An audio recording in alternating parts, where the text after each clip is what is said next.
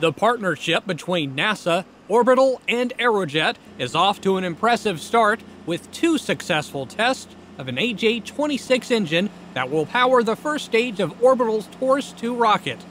With this test series complete, the first flight engine is now installed on the test stand at NASA's Stennis Space Center to begin regularly planned acceptance testing.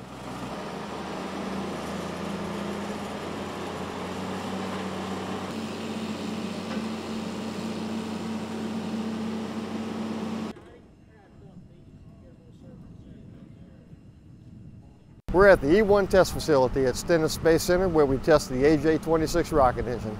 This is a combined partnership between NASA, Orbital Sciences Corporation, and Aerojet, which is off to a great start where we have successfully completed the first test of the AJ-26 rocket engine. Uh, we're in the process now of removing that rocket engine and installing engine number two, which is scheduled to start in early February. The, the AJ-26 rocket engine is the first stage rocket engine on the, on the Taurus 2 resupply vehicle for the International Space Station.